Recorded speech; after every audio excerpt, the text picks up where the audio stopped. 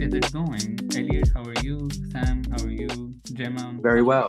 Not too bad. What's going on, guys? Fantastic. Um, by the way, Gemma, nice background. I like the uh very studious kind of like background change this time. So it made me look uh, intelligent if I show you my A little bit, I think so, for sure, for sure. Um, but yeah, we thought we would talk about some key reminders to keep yourself going on the recovery journey because I think I think all of us need key reminders. Even when you're recovered, you just sometimes need some key reminders to keep you keep yourself going in life. Um, I know I have fallen into the trap of just being like, uh, I don't know what my next goals are. What do I need to want? What do I want to go towards next in life? How do I even keep going? Is this it in life? is have I achieved everything I had to achieve kind of thing. So sometimes you have to also just like think of various ways of like how do I keep myself push like going forward and pushing myself. Um who would like to go first? Okay. Um, I just wanted to touch on what you said about like how to keep yourself going and how to, you know, carry on even when you're feeling demotivated and, you know, bad.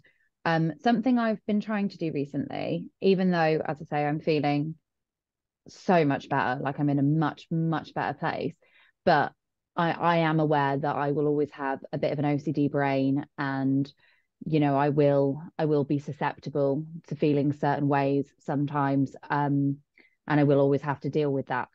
So what i've tried to do with like carrying on with things is when i'm like goal setting um and it's not like a, i don't kind of sit down and and write goals and things but in my head i have like certain goals that i want to achieve um i used to kind of base my goals on my emotions. So i would um i would say like oh you know i want to buy next year i want to be feeling happier or i want to you know be able to feel excited about things or i, I would always base goal setting on emotions. Whereas now what i try and do is when i'm looking at like the future and goals that i have is i I do like an action. So I, I I have a goal that I want to achieve this certain thing by this time, but I don't put any kind of emotion into that. I don't say I want to achieve this goal and I, I'm going to be really happy when I do that. I'm going to I just think I'm going to achieve that.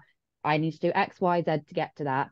And if I feel like crap, I'm still going to go and do that because that's the goal that I've set in mind. So I think it's really important, like going forward with OCD, to look at things without trying to back it up with emotions all the time because I think that's when you kind of fall into a bit of a trap of you know I want to feel like this I want to feel like that and you're you're trying to force it at that point um which as we know forcing emotion with OCD is never going to work it, it it'll go the opposite way And that's such a big thing for fear of fear as well, isn't it? Like we talk about a lot. Mm. The, the, if you're basing on your if you're basing your progress or your goal hitting on how you feel, then OCD is going to know that, isn't it? So Mm. you're probably you might achieve your goal and you still feel depressed, you still feel guilty, you still feel anxious. You're thinking, well, I'm not getting anywhere here. But like you say, if you're trying to achieve a goal and not watch the emotions or not not not care about how you feel, but don't put the utmost um the result, the outcome isn't based on how you feel, isn't it? Like exactly what you were saying. It's whether you achieve Yeah. the goal and see how you feel whilst you do that. Yeah, that's that's so true. I used to just base my recovery on like how I felt.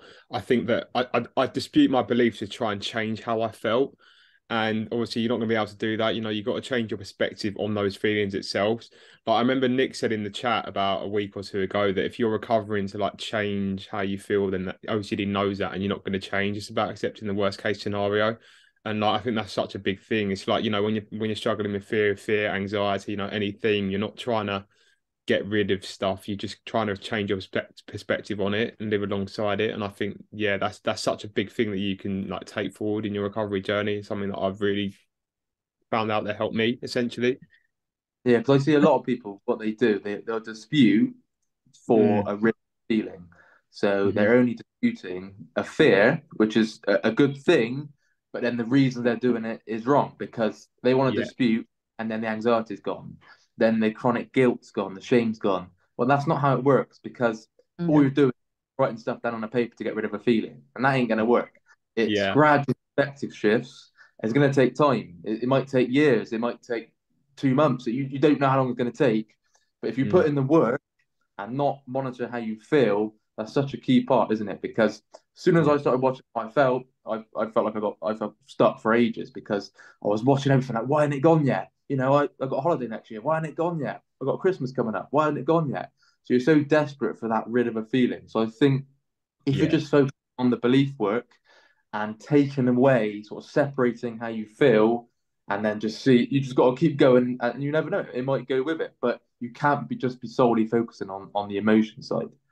Yeah, I was really guilty of um, only disputing in periods that I actually felt bad because I was just trying to get rid of a feeling. I wasn't actually disputing because I was looking at the long term goal of it and the long term, Mhm. I'm going to change perspectives doing this. I was literally going, I'm in a really bad place. I'm going to start disputing. The amount of times I must have said to Nick, Oh, you know, I've got. I'm I am feeling better, but I've got this little ningling. There's there's something there, and it's it's bothering me a bit. Should I start disputing again? And every time he was like, no disputing for a month. I was like, what? and but then the fact that I got so stressed when he said that meant that I shouldn't be disputing because the fact Yeah. that I was upset that I wasn't allowed to dispute meant that I was Yeah. just trying to do that to get rid of a feeling. That's so true.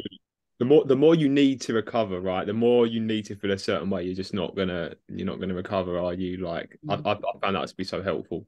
Like if you really Yeah. need recovery, it's just gonna pull away. Like it's just not gonna happen. You don't need it like you think you do as well. And you can still have a good And- life even if you're not recovered. You know, like even in even in the worst times, we like all of us, we've still managed to sort of live our lives and you know work and enjoy certain aspects. And you know, we, we don't need it like we think we do as well. I think that's a big aspect. Like you don't you don't really need. Obviously, it's great if you do recover. There's a lot of benefits, but you don't you don't have to. You know. Yeah, and there's also a reason why people coast, isn't it? Because when you're stuck for so long, you get a glimpse of relief, so you then Mm. coast, and then you only put in recovery work when you when you're in crisis again. Now that is like I was saying, you're only doing that to get rid of a feeling. So it's getting in that routine where you're consistently putting in recovery work, regardless of how you feel. It all relates to the emotion side of things again, doesn't it? And Yeah. I Yeah. like how Gemma also put it, like, I think um where you're doing like whatever goal it is, or even if it's like a small task that you have to do, like you're doing it without that aim of emotional result. Like, for example, if it's um like Gemma and me and Sam, we were just talking about uh, before this call, we were just talking about, you know, college experiences and things like that. So it's, for example, if it's like a college degree that you have to do, right? You're not doing it with like not doing it with the aim of specifically with the aim of that once I complete this, I will feel more confident or more happy in myself. Because that's a very quick, easy, subtle trap for OCD sufferers because then you are automatically attaching this big emotional expectation to whatever little task it is that you have to do or whatever little goal it is. Instead, seeing like going to college or completing your degree as a logical thing that I mean, this is something that, for example, is going to lead to maybe better job opportunities, right? Or this is going to make me learn XYZ thing.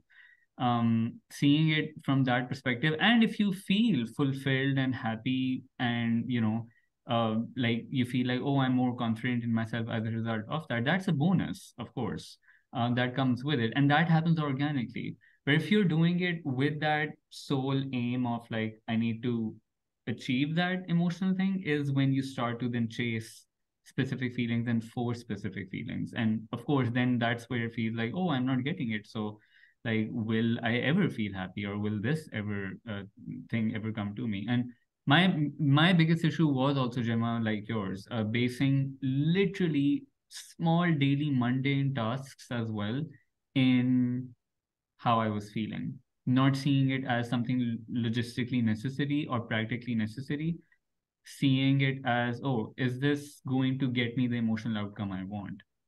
But also on a side note, I forgot to wear this. I just got this like a couple of days ago, so I thought I I noticed you run off You and put that on. yeah, I was like, why am I not wearing that? Why am I on with this like green sweater? Where's ours? Yeah, I need.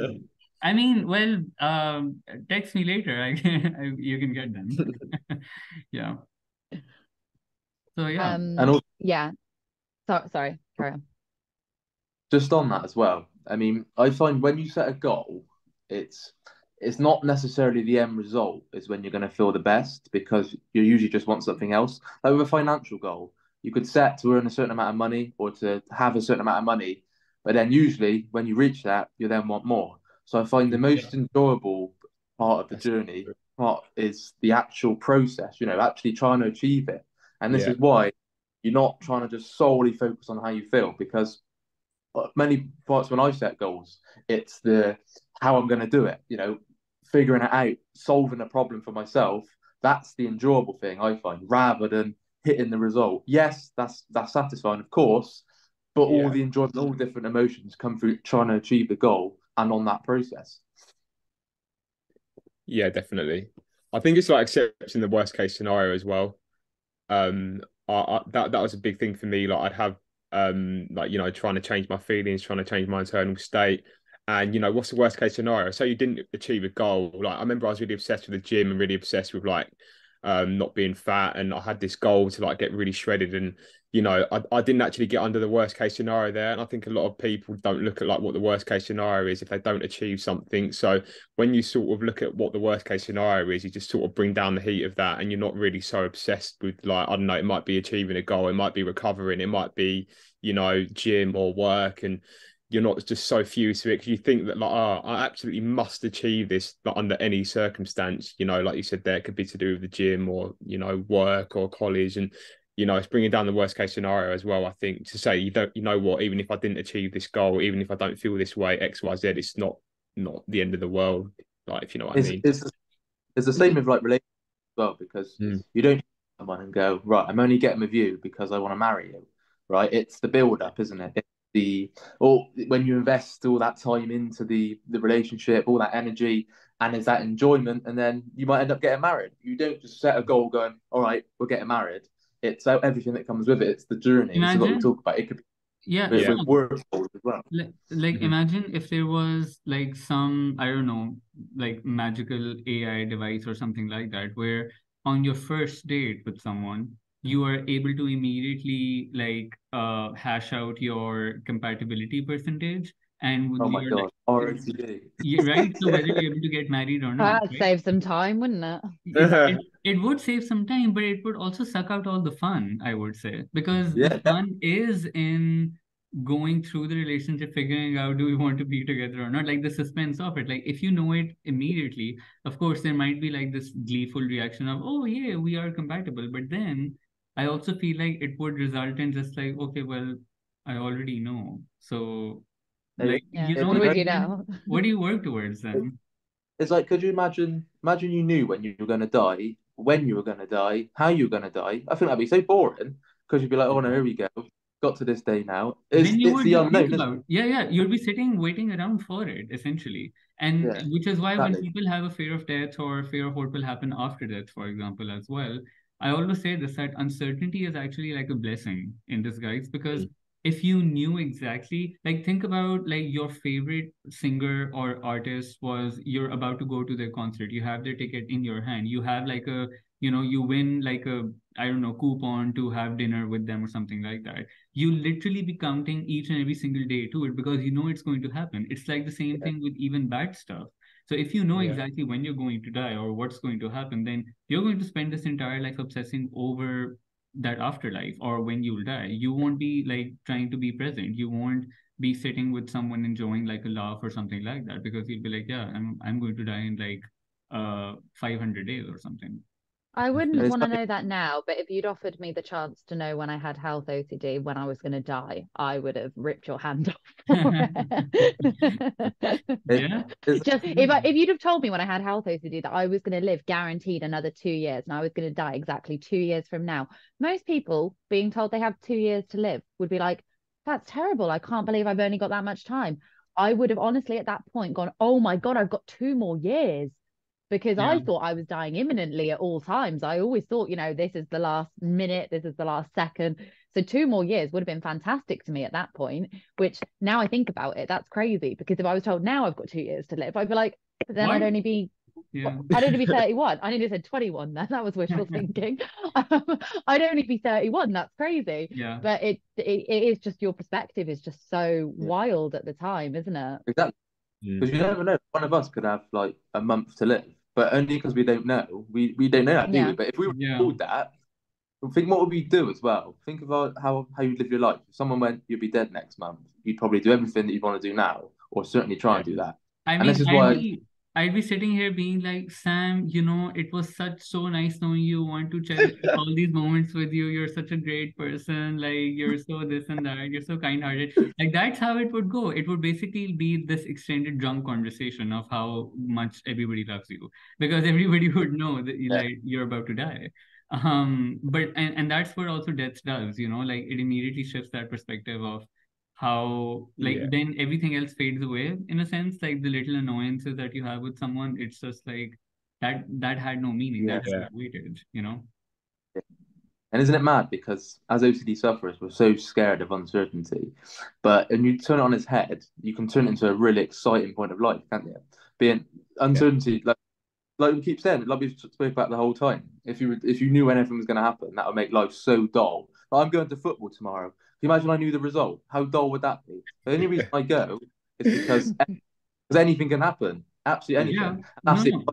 like i think anything. uncertainty is a luxury and i know people who have a fear of uncertainty would be like what the hell are you talking about but uncertainty literally is a luxury like the um the presence it provides you the pressure that it lifts off you of not knowing what's going to happen um and also it it provides motivation as well bec- because you don't know what's going to happen therefore you feel more compelled to put in a certain amount of effort and put your best foot forward to try to influence the results. I'm not talking about like compulsively trying to control the situations in an OCD sense, but generally, like, you know, uh, whether you're about to get a job or not, right? You will work a little extra hard because you don't know what other people will think of you. Yeah, definitely. You're just more flexible. Like when when I find when you move through the recovery journey, you're just better at handling uncertainty and just become a bit more flexible. I'd say you're not you're not so rigid with things. Like if something happens, it happens. If it if it doesn't happen, you know, it doesn't happen. And like you're just a bit more like loose, if you like. And I think that's such a good thing as you as you move along the recovery journey, you might sort of find that you're just a bit more flexible, not just in terms of OCD, but in terms of life as well like your your attitude towards stuff is is just more flexible. Like if if something bad happens like i don't know you might i don't know lose your job or whatever you're just a bit like yeah it's happened but it's not the end of the world. Like i could maybe get another job or i could move on to something better. Like you just see stuff just more flexibly which is really good. And it's just better oh, sorry overall just with the uncertainty it's just you know so much more better at handling it in a way i'd say. I think my And it's just mind like- goes sorry You go, Jeff. You go.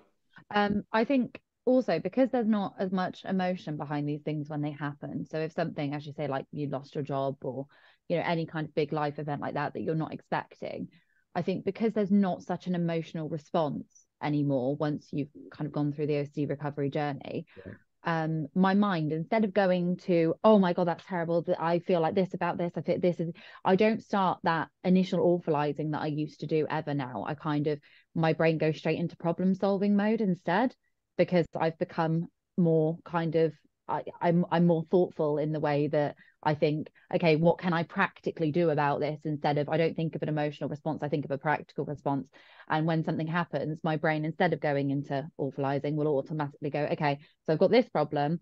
Um, I can do this to change it. I can't do this. I can do this. I can't do this. And it, it's almost like it becomes more of an equation rather than an actual emotional problem. Obviously, if it was something severe, like I found out a family member Yeah. was dying or something, I'm sure there would be more of an emotional response then. Even with But not I'm getting a definitely more practical well. than I used to be. Yeah. Even with not getting a job, of course, you will feel bummed out. You'll be like, man, I really Mm-hmm. wanted this. This would have been like financially great. It would have been great for my career, great for my resume, all those things. So of course, you you would be bummed out, but it wouldn't be like a roller coaster of emotions. Like you can't even like handle it at all. And I think what Sam was Yeah. saying about like um uh, we were discussing like finances like a little bit, and I think like all four of us here, for example, all four of us would, would like to be a millionaire, right? If tomorrow we had an option of being a millionaire, we'd be like, yes, please, uh, make us one. But once, right now, in this position, we think that once we be a millionaire, we'll feel very comfortable, no worries, or like, you know, it'll be like, okay, I don't have to work as hard. But once you're a millionaire then you'll like after several months you'll get used to being a millionaire. Then you'll be like okay how do i multiply this? How do i have more? So it will like every goal that you have in your mind i mean not saying that you don't achieve it. Yes you achieve it. But also there will be more after that. The same as right now while you're suffering really bad with ocd your goal is working on recovery for instance once you achieve recovery recovery is not a full stop. Like i have my there's no full stop on my life once i have lived recovered from ocd like ongoingly like there are challenges in life there are things going on in life. So and this is the other thing i really want to highlight with like key reminders for the recovery journey is to not see recovery as this end all be all full stop thing that you have to achieve and then you know everything will be set. No like don't be a bit more realistic about it recovery takes care of one aspect of your life which is the disorder part of life. But then ongoing things like you know you working on career building a family spending time with loved ones uh, where you want to live uh, what are your what is your financial situation like? Um, going through i don't know natural disasters inflation like there's so many things that are happening that happen on a daily basis around the world um, health related problems death in the family all those things will like keep happening in your life. So it's about also adopting a mindset of like being able to tackle any challenge that comes your way whether you are recovered or not.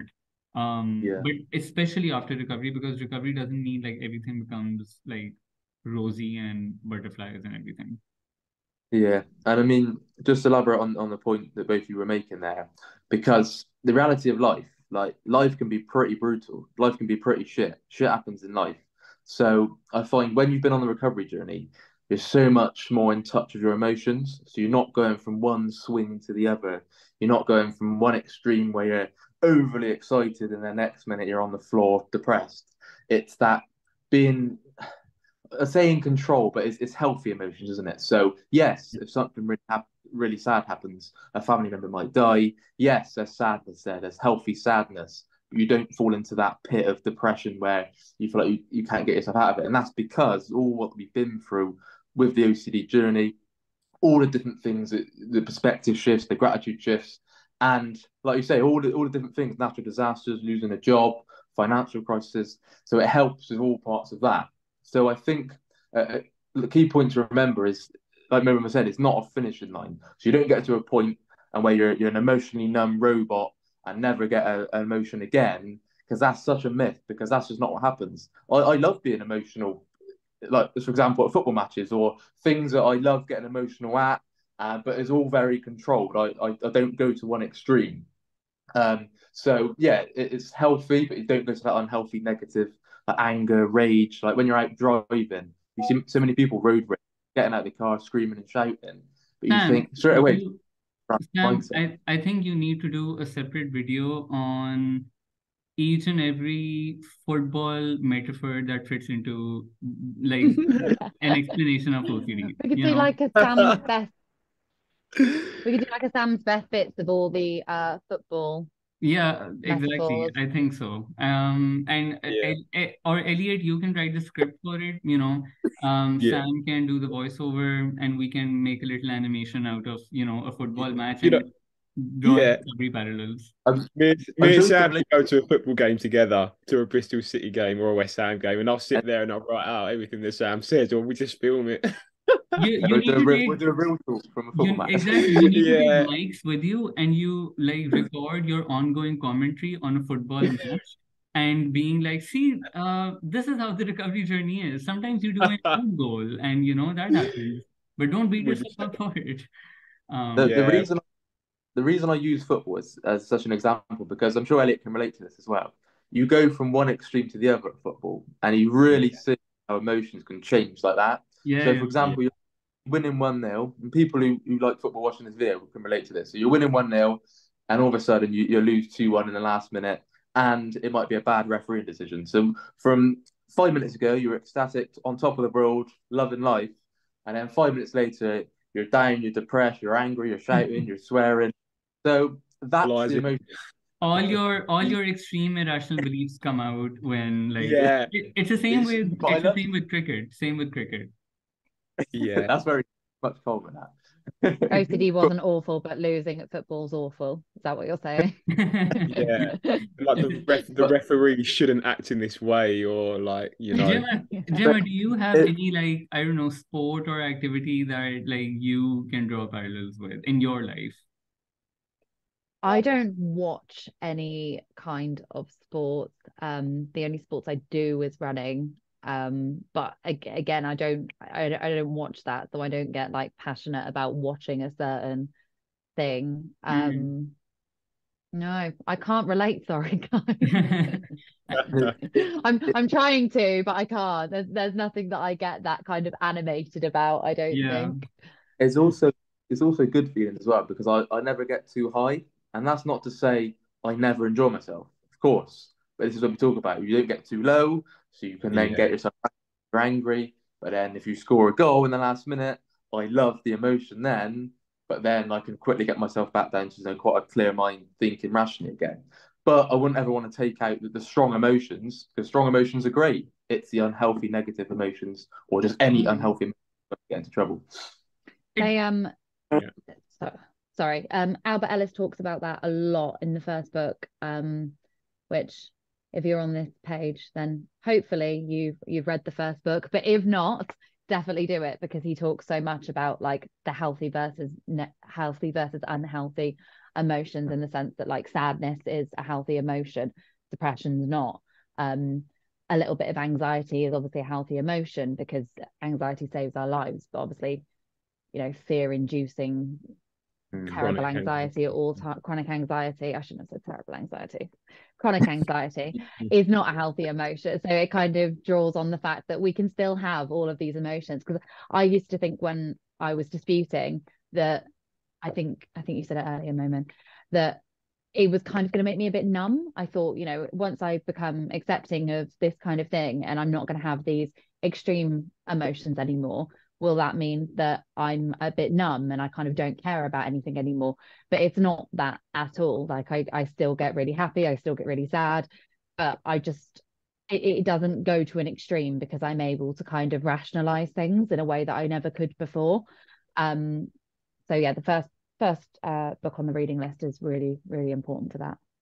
And like you say, anxiety and healthy panic is designed to save your life, isn't it? Because you imagine a bus or, or an object was coming your way, you're not going to be like, nope, got no emotion, and just really mm-hmm. slowly walk out of the way. You need that panic to save your life, to run out of the way of the bus, to run out of the way of the brick that's going towards your head. So it keeps mean, you alive. Was that a football? Imagine someone imagine someone is running towards you with a knife and you have no anxiety. You're like, oh well, I mean, I guess go ahead and do whatever. Uh, it is anxiety that essentially saves our life for us to then take action and like I don't know, defend ourselves, duck out of the way, whatever it is. Mm, yeah, definitely. Um, I'm really sorry, guys. I have to run. I'm So I 15 actually minutes late. I also it's fine. Um, I also have to run, but um, Oh, so we amazing. should wrap this up anyway because I have a call to go to. Um, but guys, uh, thanks for being here as always, and uh, see you next week on another Real Talk. Thank you. Bye. guys. See you next week. Bye.